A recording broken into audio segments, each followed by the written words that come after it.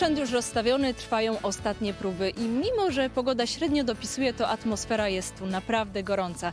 Dziś wieczorem na scenie Amfiteatru Tysiąclecia w Opolu wystąpią największe gwiazdy. Wystarczy powiedzieć Edyta Górniak, Maryla Rodowicz, Ryszard Rynkowski, Łukasz Zagrobelny, Roxana Węgiel, Natalia Kukulska i oczywiście Piotr Kupicha, który już teraz z nami. Cześć Piotrek. Dzień dobry, dzień dobry, witam Państwa bardzo serdecznie. Cześć. Który to już raz w Opolu?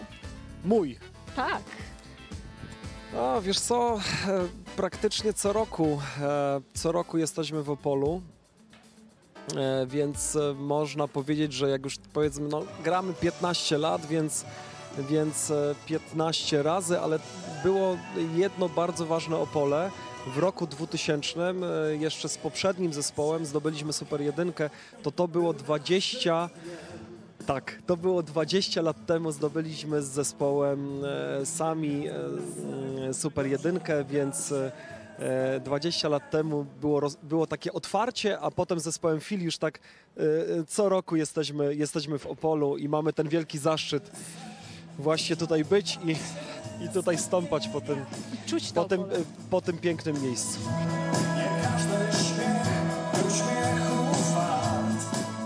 Wyjątkowe e, widowisko muzyczne, koncert e, na cześć Krzysztofa Krawczyka.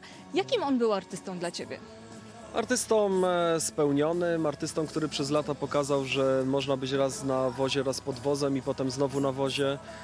Piękne przeboje, konsekwencja i charyzma. Myślę, że artysta musi mieć na scenie charyzmę i Krzysztof Krawczyk miał tą charyzmę. Które piosenki Krzysztofa Krawczyka dzisiaj Ty wykonasz? E, Wykonam dwie piosenki. Piosenka pod tytułem Tylko ty, tylko ja. I druga piosenka Przytul mnie życie. To będzie taki medley ze świętej pamięci panem Krzysztofem.